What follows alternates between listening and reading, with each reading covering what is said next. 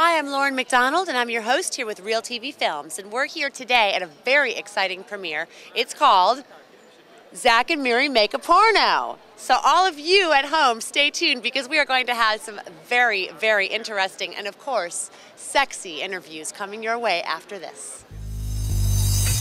Yeah. they gonna say I'm crazy for this one. This one.